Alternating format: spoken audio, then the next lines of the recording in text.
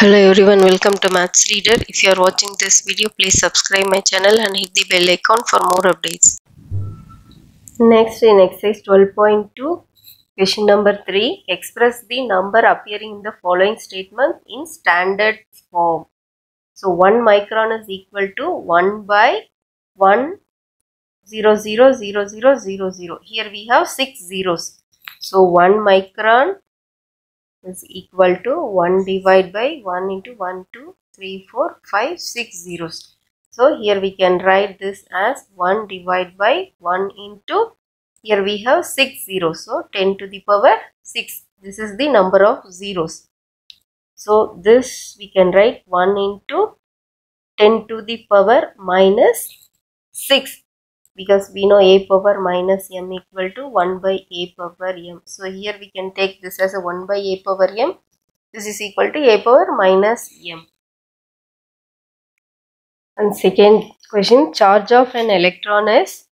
0 point. Here we have 1, 2, 3, 4, 5, 6, 7, 8, 9, 10, 11, 12, 13, 14, 15, 16, 17, 18. So totally we have 18 zeros and 19 digit this is 20th digit so this digit has to move here so this is the 19th digit so 1.6 into 10 to the power minus 19 because this moved towards right so minus 19 it is moved 19 digits and size of bacteria is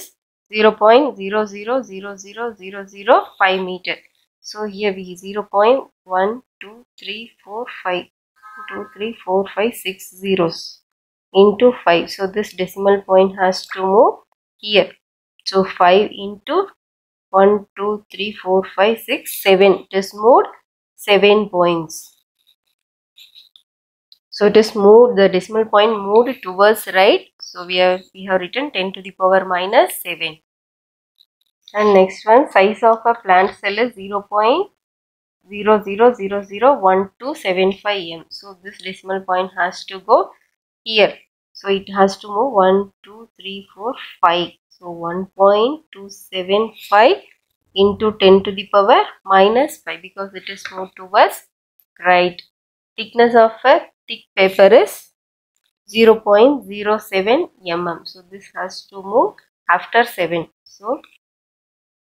7 into it is more 1 2 so 2 points 10 per minus 2